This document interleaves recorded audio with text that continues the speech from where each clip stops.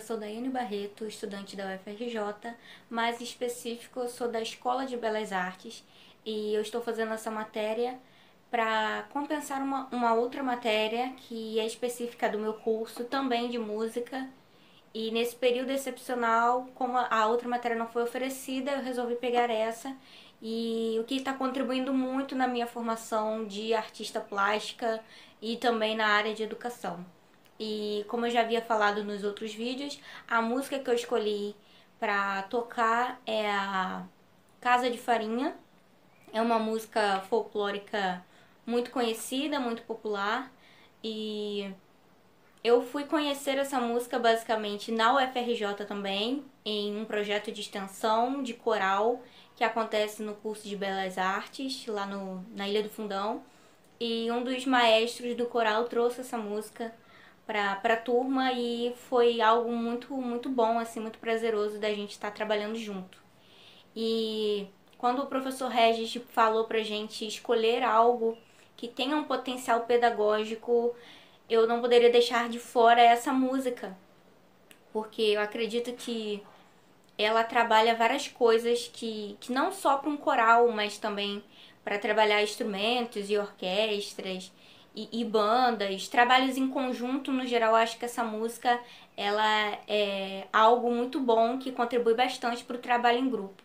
Então, eu acho que essa música eu trabalharia em uma aula muito de harmonia, de ouvir o que o seu colega está tocando ou cantando e também se ouvir, porque eu acho que isso é fundamental enquanto a gente toca em conjunto, né? Entender o tempo de cada um, as pausas. Então eu acho essa música uma música básica que para iniciar a musicalização é, tanto infantil quanto adulta, ela é fundamental para trabalhar a harmonia, para trabalhar o, é, o conjunto, é, trabalhar até divisão de voz também é muito legal, porque eu já até comentei nos outros vídeos que essa música ela tem um, um efeito nela de canto e contracanto, que ela se repete, então ela canta a primeira parte da música, canta a segunda e na terceira vez que ela, que ela canta, que a gente canta na verdade a música, há um jogo de canto e contracanto. São duas vozes que se sobrepõem,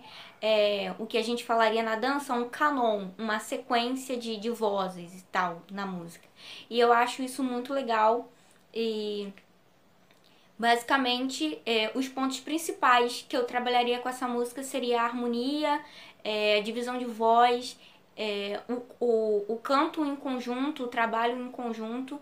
E eu acho que uma, um dos fatores principais dessa música também é que, apesar dela ser música de folclore, ela é uma música de roda, ela tem um, um toda uma história por trás dela de criação que também envolvia a dança.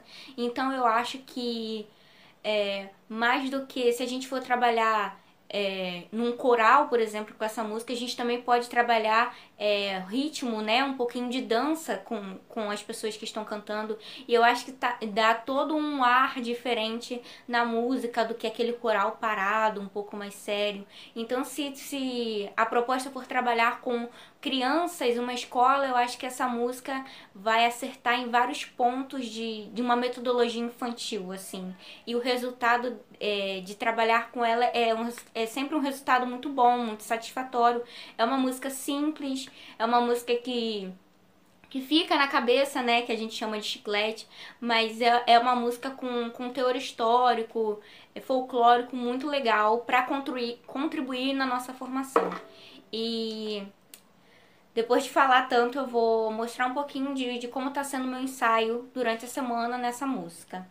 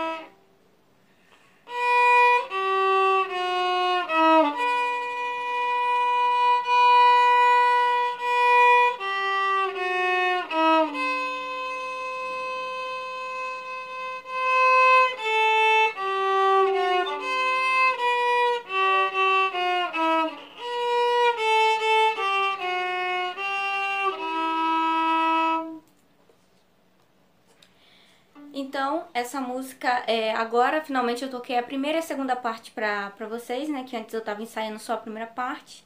E agora já comecei a pegar um pouquinho da segunda. É, tocando sozinha num instrumento é um pouco diferente do que eu falei sobre o canto e contracanto. E fica mais fácil de entender essa, essa dinâmica é, simplesmente cantando. Então eu gravei um, um pequeno videozinho com, com essa parte de canto e contracanto pra a gente poder entender um pouquinho melhor de como funciona essa música no, no quesito de cantar, né? Que é diferente do, do tocar sozinho. Então, é, eu vou deixar o vídeo logo em seguida, vocês vão, vão ver como é que é essa dinâmica, eu espero que vocês gostem. E é isso, até o próximo ensaio. Tchau, tchau.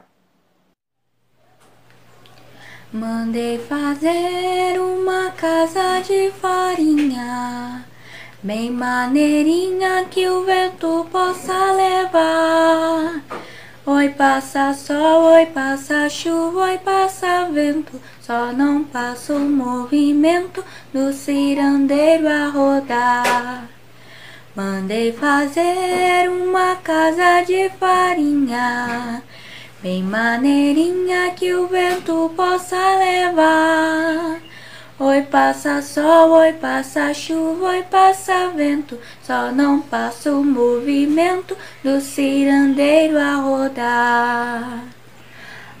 Achei bom, bonito, meu amor brincar, ciranda maneira, vem cá cirandeira,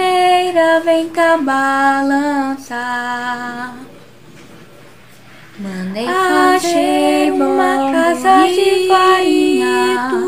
Bem maneirinha que o vento possa levar. Oi passa sol, oi passa chuva, oi passa vento. Vem cá, Só não faço movimento, vem cá, cirandeira rodar Mandei fazer uma casa de farinha. Bem maneirinha que o vento Oi, passa sol, oi, passa chuva, oi, passa vento. Vem cá, cirandeira, vem cá, cirandeira rodar. Mandei fazer uma casa de farinha, bem maneirinha que o vento possa levar. Oi, passa sol, oi, passa chuva, oi, passa vento. Só não passa o movimento do cirandeiro a rodar. Mandei fazer uma casa de farinha, bem maneirinha que o vento possa levar. Oi passa sol, oi passa chuva, oi passa vento, só não passa o movimento do cirandeiro a rodar. Achei bom, bonito, meu amor brincar, ciranda maneira, vem cá cirandeira, vem cá balançar. Mandei Achei uma casa de farinha Bem maneirinha passa sol, oi, passa chuva, oi, passa vento. Vem cá, Só não faço movimento, vem cá, cirandeira rodar Mandei fazer uma casa de farinha. Bem maneirinha que o vento possa levar. Oi, passa sol, oi, passa chuva, oi, passa vento. Vem cá, cirandeira, vem cá, cirandeira rodar